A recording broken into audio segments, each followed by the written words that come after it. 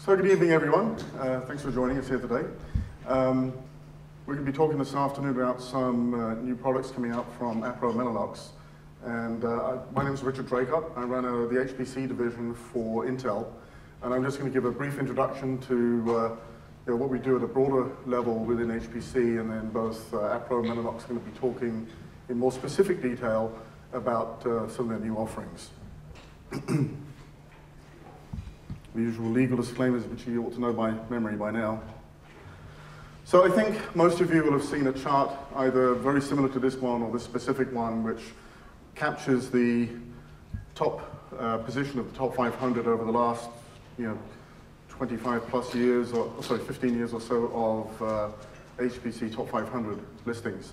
And whether you look at the number one or the cumulative top 500, or even the bottom of the top 500, there's a very steady exponential growth rate that we've seen that's been uninter uninterrupted now pretty well for the life of the top 500. And although the most recent numbers on, on here, uh, it, they're still staying on track with this position. And, and the real point here is that within the HPC community, we have seen literally an insatiable demand for new performance. Um, as, the, as the processor vendor here, one of the nice things for me is that no matter what I bring out next, I have customers lining up saying, no, not only is that good, but I need more. And so there's, there's always uh, plenty for me to do. Um, in terms of what's driving that performance, uh, obviously some of it is traditional scientific computing, whether it's physics, chemistry, fluid, fluid dynamics analysis. Some of the examples up here, like weather, weather prediction, climate modeling, um, genomics, all of these are collectively all having the same characteristic. There is always something more you can do, whether it's getting more granular in terms of how, how far out you can predict the weather, or how accurately you can predict the weather, or how quickly you can change a prediction. With oil exploration, we're seeing people literally take existing, not only process more and more data as they look more for oil, but take even old data from five, ten years ago, reprocess it, and use it to find things that they weren't able to find with previous processing technology. So um, if we look at both the increasing demand from a performance standpoint and also an increasing array of customers, there are more and more companies realizing that they can take HPC techniques that were previously the domain of the labs and the, and the universities and apply them in a commercial sense, whether it's financial, or things like mechanical modeling. Crash testing used to be the domain of cars and airplanes. Now they do crash testing on everything from uh, electric razors and cell phones to even, I believe it or not, uh, diapers. So the, the, the, way people are applying this technology in a commercial sense is just growing exponentially. And that's what's driving this ever increasing need. Every time someone new gets into HPC, they realize there's more and more they can do with it. I've never seen anybody reduce their requirements. So one of the good things about this is it really takes advantage of Moore's law, and quite frequently I'm asked, well, you know, how strong and, and persistent is Moore's law? Is it really going to be able to keep providing us with new technology for the foreseeable future? At any given time, we can see out about 10 years. You know, 10 years ago, we were saying, yeah, we think by 2008 we can do this. Uh, but it's been a fairly predictable um, path that we've been on. And this is kind of the roadmap of the different process technologies with which we build the processors. And you can see in November, for example, we introduced the 45 nanometer product line. Uh, some of you may have known that as Harpertown. If you saw the top 500 presentation this morning, uh, sorry, lunchtime, um, you'll see that Harpertown is already a substantial, probably around half the list in a relatively short period of time. So it's not only are we bringing up new technologies on a consistent basis, but we're seeing the HPC community adopt that new technology at an even faster rate with each passing year. We're about a year away from introducing our next process. We've already started building transistors on the process two years out from that, so 2011. And you can see that we have technology and research going out all the way through to about 2017 right now. And hopefully by next summer, I'll be able to show you another little box for 2019. So at the moment, despite the, the challenges that physics presents, by introducing new te technologies and new materials, we can keep moving forward with Moore's law.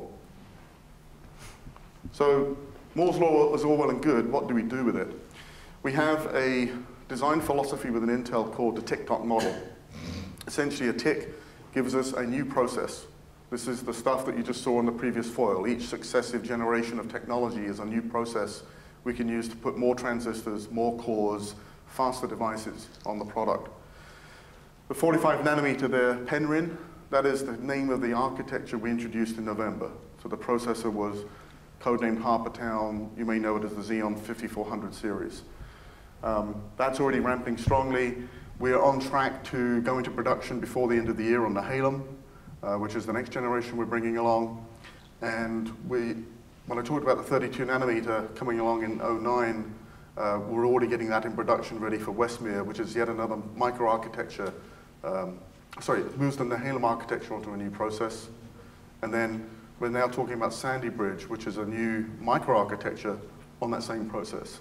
The bottom line is we have a new cadence or a new technology introduction each year to be able to keep moving forward to meet the demands of Moore's Law.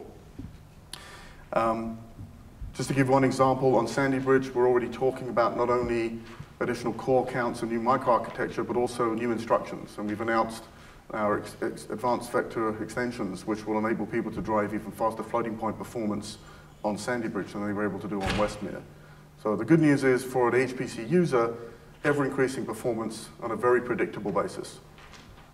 In terms of you know, what we expect to do with this, we're, we're looking to really drive research, um, uh, not just in the pure science sense, but also applied research, whether it's medical, engineering, uh, everything from the R&D angle all the way through to full production.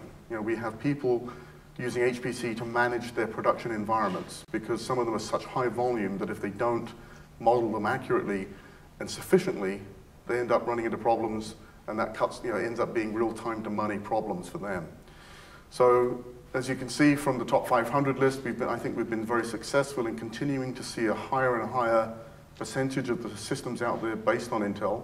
Uh, the announcement this today was that we've now hit 75% of the top 500, which is a, a record for us. And so that's helping us fulfill this vision.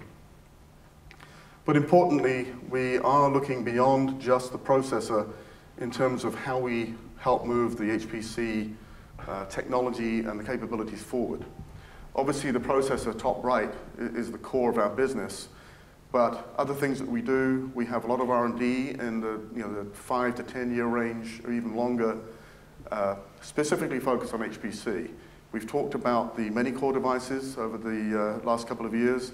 But we're also doing work on high-speed interconnect, including optical. Uh, we're doing work on software tools to help people take advantage of very high thread count processors that you're going to be seeing over the next uh, few years.